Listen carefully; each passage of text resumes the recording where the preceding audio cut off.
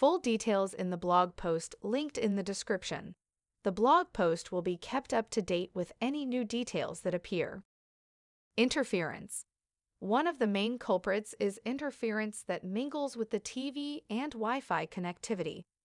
This happens when another wireless device is sending signals that interrupt the Wi Fi. Interference can be caused by everyday gadgets like a smart refrigerator or a pair of speakers. To check, remove any radio transmission devices from around the Apple TV and see if the problem is solved. If radio transmission turns out to be the issue, you can adjust the multicast rate on your router, which you can find instructions to do in your router manual. If it's not, give your router a quick restart to refresh the network. IP address issues. Sometimes it's not just your Apple TV that disconnects from the Wi Fi, but every connected device to that network. This is even more problematic and can be traced back to an IP address issue. Bear in mind, however, that first gen Apple TVs have been reported to come with bad Wi Fi NICs that take networks down, so that could be the root cause. To fix this, make sure that your router has the most recent firmware update. Also, ensure that its DHCP settings give the Apple TV's MAC address a static IP address. Software isn't updated. Another connectivity issue may arise where the Apple TV is connected to the network but isn't functioning. Make sure to check that your device has the latest update installed. You can do so by going to Settings, then to System, and Software Updates. Afterward, select Update Software. If a software update is detected, click on Download and Install. Wait for the installation to finish and for your TV to automatically restart after.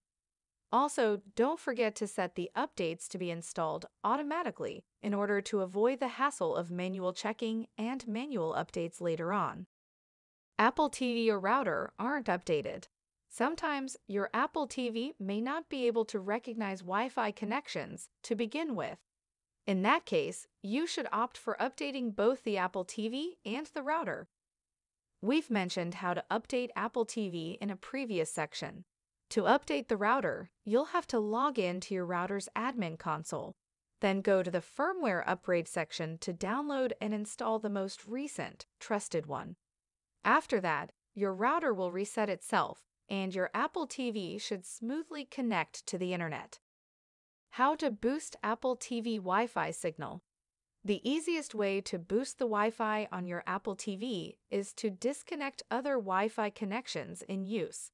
Or you can use a more powerful router to feed all the devices around it.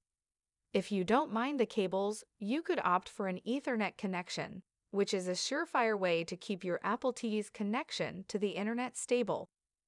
Finally, you can avoid the cables of Ethernet connection by using an Ethernet socket powerline network adapter that works with mains to transmit signals. Network reset. This is one of the best potential ways of fixing connectivity glitches and bugs. It's not a necessary step, but it can really help when nothing else seems to work.